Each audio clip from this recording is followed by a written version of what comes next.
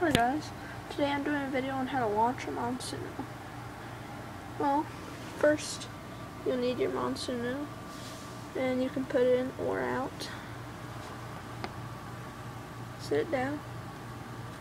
You can launch, just put any, just put anything on it, you can launch it like this or like this or I prefer to do it like this and just